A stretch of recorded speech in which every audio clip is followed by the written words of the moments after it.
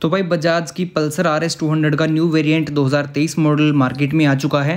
ये बाइक अब आपको बजाज के शोरूम पे भी मिल जाएगी। और इस वीडियो में हम बात करेंगे कि बजाज ने इस बाइक के अंदर क्या चेंजेस किए हैं, क्या इस बाइक के अंदर नया है। बजाज से हमारी एक्सपेक्टेशंस काफ़ी ज़्यादा थी। हम एक्सपेक्ट कर रहे थे कि बजाज एन एस के जैसे आर एस के अंदर भी काफ़ी सारे अपग्रेड्स करेगी। लेकिन बजाज ने ऐसा आर एस के साथ नहीं किया। उस बाइक का डिज़ाइन और स्टाइल अभी भी बिल्कुल वैसा ही है जैसा पहले आता था। और चेंजेस के बारे में बात करें तो भाई आर एस का जो नया मॉडल है 2023 मॉडल उसके अंदर चेंजेस इंस्ट्रूमेंट कंसोल के अंदर हो गए हैं। अब उसके इंस्ट्रूमेंट कंसोल में आपको गियर पोजीशन इंडिकेटर मिल जाएगा, जो पहले नहीं मिलता था। सेकंड चेंज ये है कि इसके अंदर आपको ट्रिप मीटर मिल जाएगा, जो पहले नहीं मिलता था। और उसके साथ डिस्टेंस टू एम्पटी भी मिल जाएगा। सो एन एस के नए मॉडल के अंदर जो इंस्ट्रूमेंट कंसोल में फीचर्स आ गए हैं, वही सेम फीचर्स आर एस के नए मॉडल के अंदर भी आ गए हैं। इंस्ट्रूमेंट कंसोल में आपको gear position indicator trip meter distance to empty ये फीचर्स मिल जाएँगे, जो पहले नहीं मिलते थे। और नेक्स्ट चेंज ये है कि ये बाइक अब ई ट्वेंटी कंपेटिबल है, यानी कि ट्वेंटी परसेंट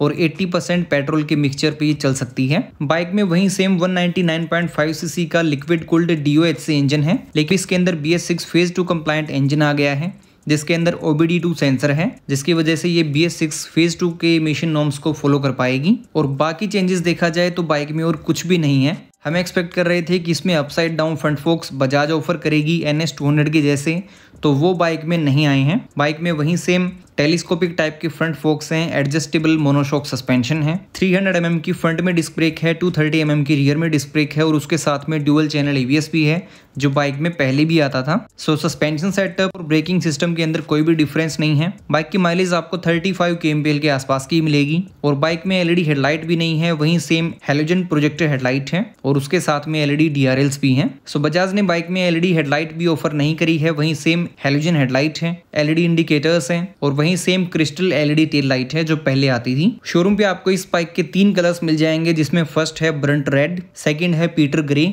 और थर्ड है व्हाइट और तीनों कलर्स में ड्यूअल टोन टाइप की कलर कॉम्बिनेशन है। बाइक का एक शोरूम प्राइस है one lakh seventy one thousand bike के प्राइस में कोई भी डिफरेंस नहीं है। बजाज ने इसका प्राइस बिल्कुल भी नहीं बढ़ाया है। सो इसका ऑन रोड प्राइस आपको दिल्ली में दो लाख रुपए के आसपास ही मिलेगा। और बाइक के लोबिल्स का डिज़ाइन भी बिल्कुल वैसा ही है। 24.5 पीएस की पावर है 18.7 एनएम का टॉर्क है।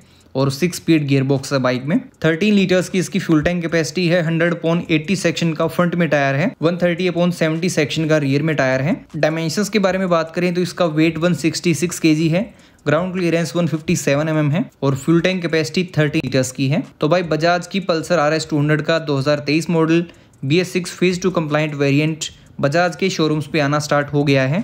अगर आप इंटरेस्टेड हो इस बाइक को परचेज करने में तो आप इसकी बुकिंग करवा सकते हो।